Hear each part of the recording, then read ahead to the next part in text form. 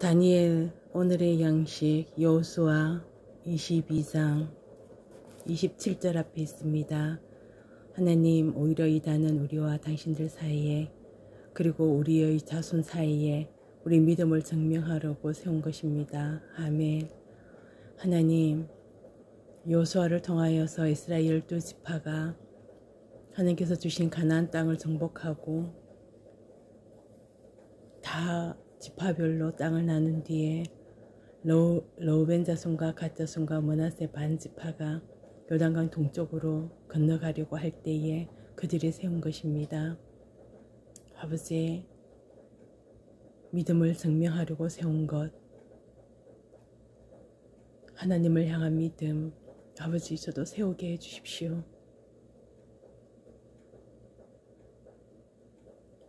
사람에게 잘 보이려고 하는 것도 아니고 나를 세우는 것도 아니고 오로지 아버지의 자녀로서 아버지께서 저에게 생명을 주신 피조물로서 아버지 아버지를 향한 믿음을 세우길 원합니다. 믿음의 연사를 저에게 주시고 성령의 연사를 저에게 부어 주십시오. 그래서 제가 성령의 사람이 되어서 아버지께만 영광 돌리는 삶 살게 해 주십시오. 예수님 이름으로 기도합니다. 아멘.